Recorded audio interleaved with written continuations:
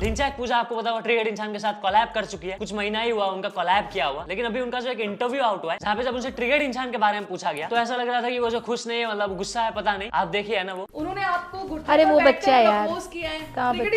बच्चा? है? हाँ? बच्चा है। रिजेक्ट कर दिया उन्हें? बच्चे उसको फॉलो करते हैं बच्चों वाली बातें करता है वो हरकतें भी उसकी वही हैं तो फिर क्या बच्चा ही हुआ और क्या? मैं मिली हुई उससे कुछ। अभी? हाथ नहीं लगा यार। क्या बात? मैं मिली उससे कुछ खास नहीं लगा। अरे तो मैं कौन सा तेरे साथ रिश्ता बनाने आया था? बच्चे उसको फॉलो करते हैं इसलिए वो बच्चा है। ये कैसा लॉजिक है? ये कौन सी सेंस बनी? बच्चे उसकी वीडियोस देखते हैं तो बच्चा है। हैं? आई। ये इसका सही में बैगन वाला लॉजिक था। बताओ कौन सा सब्जेक्ट अच्छा लगता है? कौन सब्जेक्ट अच्छा लगता है? बैगन।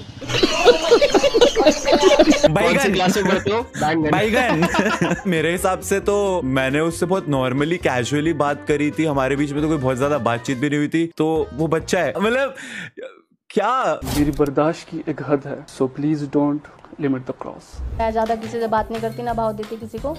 बाकी उनके मैसेज आते रहते हैं ठीक है कभी रिप्लाई कर दिया कभी नहीं। मैसेज आते रहते हैं। उनके मैसेज आते रहते हैं। मैं मैसेज करता रहता हूँ इसको।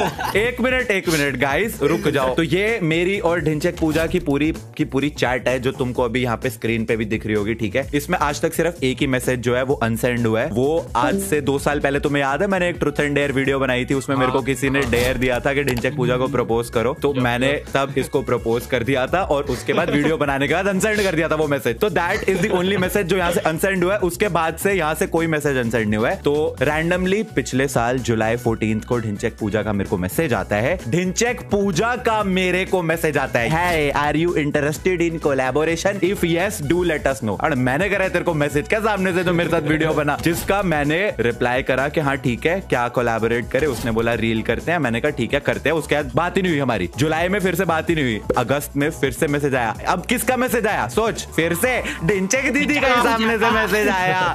Any suggestion for the video मैं कर रहा हूँ। क्या मैसेज इसको? उसके आ रहे हैं सामने से भाई। नहीं भाई पर पर आप बच्चे हो भाई पर नहीं नहीं भाई आप बच्चे हो मैं बच्चा हूँ। गाइस गाइस इसकी वीडियोस बच्चे देखते हैं। इसलिए ये भी बच्चा है। ढिंचक पूजा जब वीडियो बनाने आई वहाँ पे सेट पे बहुत सारे लोग थे जिनके लिए वो नई थी ठीक है? तो वो ऑकवर्ड ना फील करे इसलिए मैं उसको एक वो होता है ना कि थोड़ा सा फ्रेंडली बिहेव करते हो तुम किसी के साथ ताकि उसको out of the place feel ना हो। बस वो कर रहा था। एंड इसलिए उसकी हरकतें बच्चों जैसी है। हमारी तो इतनी बातचीत भी नहीं हुई। मैं उसको सिर्फ़ समझा रहा था कि वीडियो में हम ये सब करेंगे। एंड वीडियो से याद आया, लोगों को लगता है कि वीडियो में जो ढिंचक पूजा ने मेरे ऊपर रोस्ट करा, वो ढिंचक पूजा ने रोस्ट करा है। अबे, लोगों को ये नहीं पता कि वो भी भाई लाइंस मैंने लिख के दिए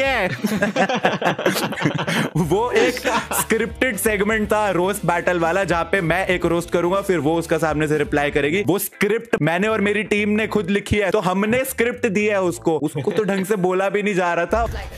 मेरा मूड है यार मैं मूड पे चलते हैं। बिल्कुल बिल्कुल। हैं ओ माय गॉड वैसे भी ज़्यादा किसी को भाव के देना और वो छोटा बहुत छोटा है क्या है क्या है उसका मेरे को ज़्यादा पता नहीं उसके बारे में। लेकिन बोल रहा था उस दिन वहाँ पे शूटिंग चल रही थी ये वो मज़ाक कर रहा था मैंने हाँ ठीक है। मैं तो उससे बात नहीं किया ज़्यादा। अपना शूटिंग किया बस ठीक है और क्या। You know the problem is not कि ये ऐसा बोल रही है द प्रॉब्लम इज़ जिस टोन से ये बोल रही है एज इफ़ मैंने कुछ गलत करा हो। ऐसे बोल रही है, जैसे पता नहीं, मैंने इसको इज़्ज़त देख के सेट पे एंड इसके साथ थोड़ा सा फ्रेंडली बिहेव करके, ताकि इसको out of the place feel ना हो, कुछ गलती करी है। और इस वजह से मैं तो ये तो बच्चा है। भाई मेरी बात सुनो आज के बाद किसी के साथ भी इज़्ज़त से बात मत करो गालियाँ गुलियाँ दे के बात करो। तब सही है। दो चार गालियाँ दे दी होती ना सेट पे तब सही था। ये बहुत बढ़िया भाई ये तो गिगा चैड है। अरे पता दिक्कत यही तो है उसको गालियाँ सुनने की आदत है ना। नहीं कैसे? कमेंट्स तो डिसेबल्ड होते हैं।